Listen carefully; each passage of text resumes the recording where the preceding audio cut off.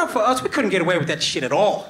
At all. If your mother told you to be in the house at like 6 o'clock, you have the nerve to come meandering in at 6.45? Oh, you know what's gonna happen, but you try to play it off anyway. Hey, mom, I'm home. What's for dinner? Oh, today is school. Oh, shit. I, I knew it. I should have snuck in. I knew it. I knew it. I knew it.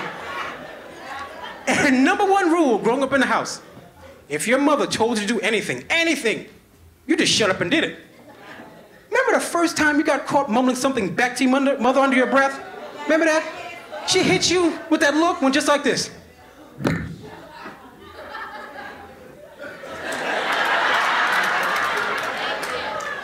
What, what, you, what you say? What you say? You say something? Huh? Huh? Yeah, I think so. Then fix the face while I fix it for you. Remember that line, fix the face while I fix it for you?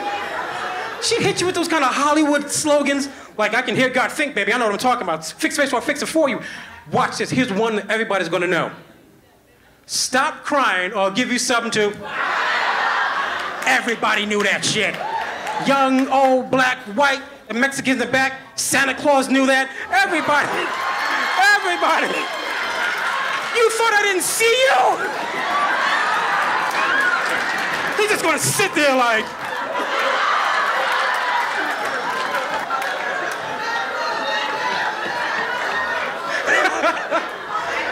Everybody knew that. That is what I call like a multicultural threat. That is, if you think about it. But you know what that means in layman's terms? That if you think you're crying now, wait till I hit you with the back of this shoe. Okay? And remember the times you pissed your mother off in public, but she couldn't get to you? So she'd pinch you real, real close, and she'd give you that gorilla mouth. Your mouth get real thin. She'd be like,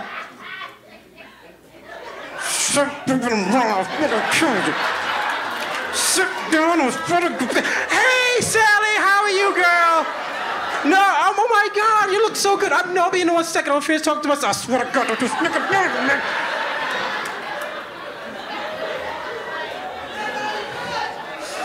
Because if I remember correctly, back in the days, it was okay to beat your kids, wasn't it? Yeah, wasn't it? People, people say, oh no, don't do that. You ruined the child. We turned out fine. You didn't see us run the school, shoot up staff and students. You know why? Because we were scared of teachers. You know why we're scared of teachers? Because back in the days, teachers could fuck you up. It, it, they could. Not only would, would they beat your ass, they would write a note to your mother telling her they beat your ass, pin it to you, and then send you home. And you know what happened when you got there? You got beat again. I'm telling you, it's, it's like that, but times have changed. Things aren't the same anymore. Things aren't the same anymore. Kids have it easy. They have it absolutely easy. Like nowadays, there are six year old kids that have iPads to help them do their homework. What?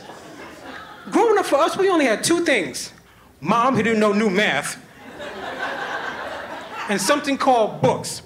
And if you're really lucky, you had something called Encyclopedia Britannicas. Remember those? Yeah? The blue book with the gold binder? Came like a set of 13 that nobody could afford?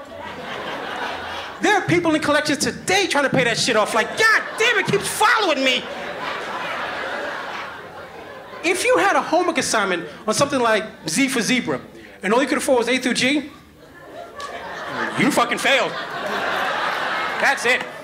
And if you had a math problem and couldn't afford a calculator, mom didn't know new math, you stuck little timetable grids in the back of the notebook. Remember the black notebook? Yeah, we'll open it up, got the timetable grid. You thought you were the smartest son of a bitch in class.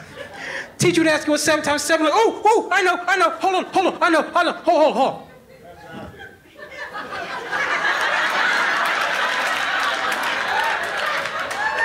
You start losing your way halfway, like, ah, ah, ah, 16, I don't even care anymore.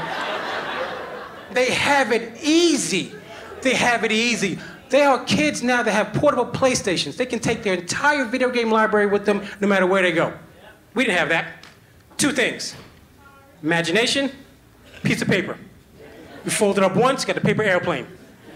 Fold it up again, you got the football triangle. Remember that? Yeah? Fold it up one more time, and you have everybody's favorite. Do you like me? Yes or no? Pick a color, blue or black.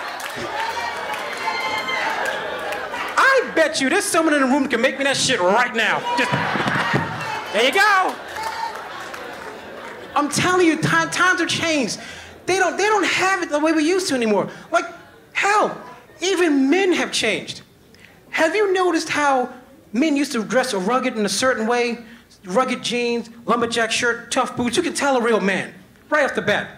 Now you have men, grown men, wearing skinny jeans. Now, if that's your thing, let it be your thing, that's fine. I'm just saying, don't try to scare the shit out of me by trying to be a tough guy when I can see the outline of your balls through your pants.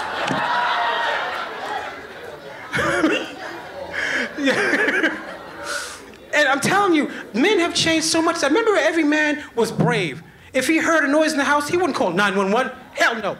Because every man had a weapon underneath their side of the bed. Could have been a bat, could have been a pipe, hell, even a samurai sword. Made no difference.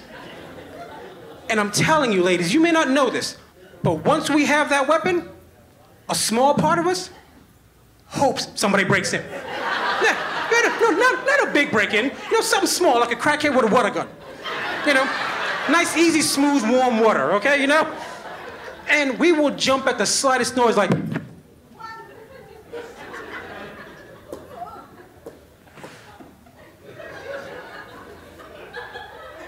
you hear that shit?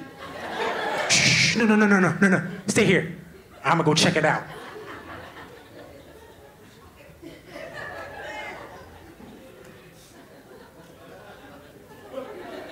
Wouldn't even get dressed, but like a naked ninja. Just...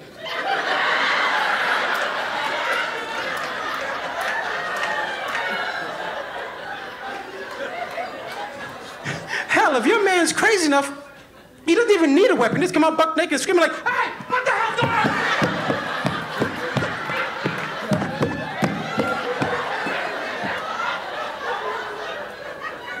Wait, wait, hold, hold, hold. Let me do a black guy. Let me do a black guy.